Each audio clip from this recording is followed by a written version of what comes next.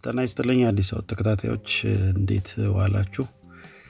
አንድ አሳዛኝ ዜና ከሳውዲ አረቢያ አካባቢ ኢትዮጵያውያኖችን የሚመለከት ጉዳዩ ምንድን ነው?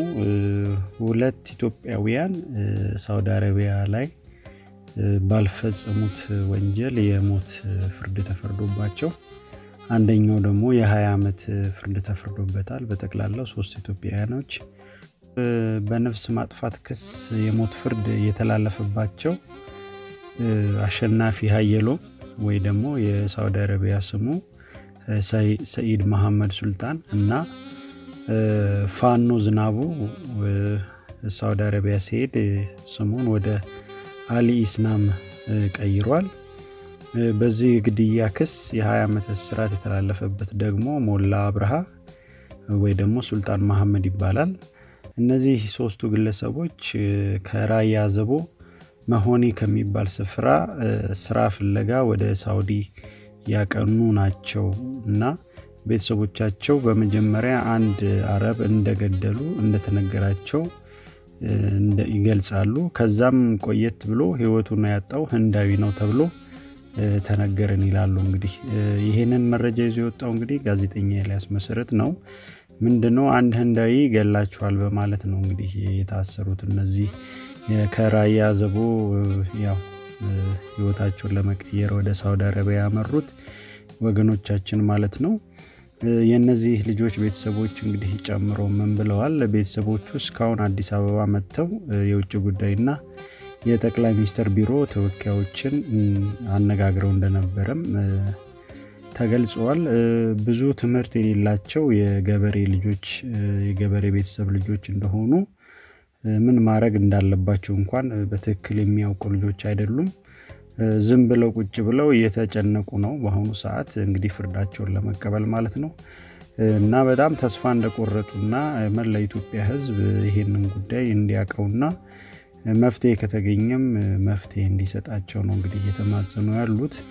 ቤተሰቡ እንግዲህ ተመቶ እዚህ መጥቶ አዲስ አበባ የጠቅላይ ሚኒስትር ቢሮንና የውጭ ጉዳይ ሚኒስትርን ስላናገረ ትላንትና ወይ ደግሞ ከትላንት ወዲያ ነው የሚመስለኝ የኢትዮጵያን ኤምባሲ በሳውዲ አረቢያ ሄዶ እንደጎበኛቸው አንድ ጽሁፍ በኤምባሲው ገጽ ላይ አንብቤ ያለው ኤምባሲው በነፍስ ማጥፋት ወንጀል የተከሰሱትን ሁለት ኢትዮጵያውያን ፍርደኞች እንደጎበኘ ጽፏል።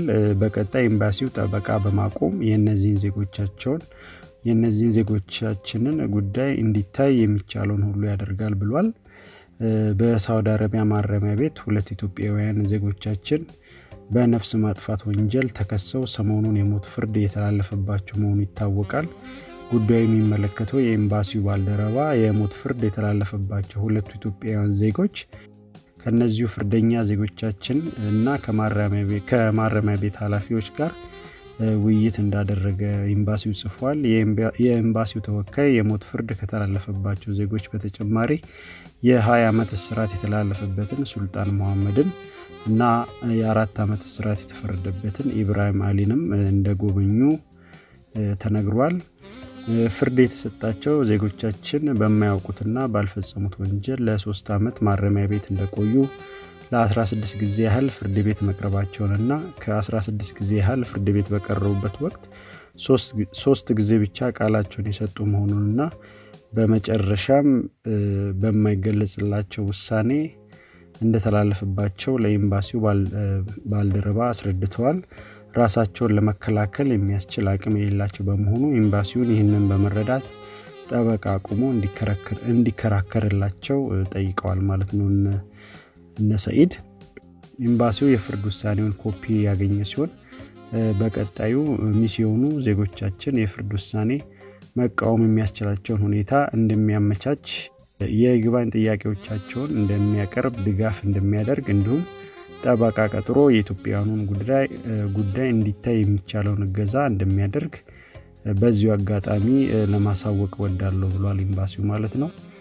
ስላለባቸው ችግር፣ ስለተከሰሱበት ሁኔታ፣ ስለ ፍርድና ተያያዥ ጉዳዮች ፍርድ ጨርሰው በስር ላይ ስላሉ ዜጎች ሁኔታ አላግባብ ስለታሰሩና ስለተፈረደባቸው የጤና እክል ስለገጠማቸውና የታራሚዎች ዝርዝር ጉዳይ በቅርብ ክትትል እንደሚያደርግ አስታውቋል ማለት ነው። ስለዚህ የኢትዮጵያን ኤምባሲ በሳውዲ አረቢያ ጉዳያቸው የወንድሞቻችን ጉዳይ በድጋሚ እንዲታይ ጥያቄ አቅርቧል ማለት ነው። በእነዚህ ምስኪን የድሃ ልጆችም ጠበቃ አቁሞ ሊከራከርላቸው እንደሆነና ከሞት ለማዳን እነሱን እንደሚጥር አስታውቋል ማለት ነው። በጣም ይሄ ደስ የሚል ዜና ነው። ለሰይድ እና አሊ መልካሙን ሁሉ እንመኛለን። አንድ ህንዳዊ ገላችኋል ተብለው ባልገደሉበት ነው ባልሰሩት ወንጀል ነው እንግዲህ ታስረው ያሉት። ይህንን ያልሰማ ሰው ስላለ እናንተ share በማድረግ ሰው እንዲሰማ አድርጉና እነዚህ ወንድሞቻችንን እንግዲህ ያለ በደላቸው ከመሞት እንድናድናቸው ነው የምንማጸነው። share፣ subscribe፣ like አድርጉን። ላልሰሙ አሰሙ። ለቤተሰቦቻቸው እንግዲህ አይዞን መጽናናት እንመኛለን። ይህንን ይመስላል። እናመሰግናለን። አዲስ አበቦች ነን። መልካም ውሎ በያላችሁ